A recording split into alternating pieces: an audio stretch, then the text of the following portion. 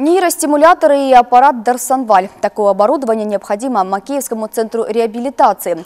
Здесь лечат больных со спинномозговыми травмами и ДЦП. Лечебное учреждение посетил мэр Макеевки Александр Мальцев. О потребности в оборудовании городскому голове рассказал главврач центра. По словам Владимира Степанова, на это нужно 100 тысяч гривен. В первую очередь необходимо два нейростимулятора для лечения ДЦП у детей.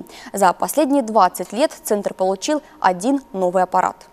Детям с ДЦП необходимо, чтобы нервная система была находилась в тонусе, необходима стимуляция. Необходимо.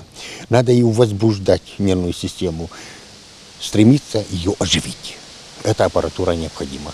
В первую очередь детям. Это клиника, которая имеет свое имя не только в Макеевке и за пределами нашего города. Наша задача из всего, что я увидел сегодня, только дооснастить самым крайним необходимым медицинским оборудованием для детей с ДЦП, и эту задачу мы будем решать.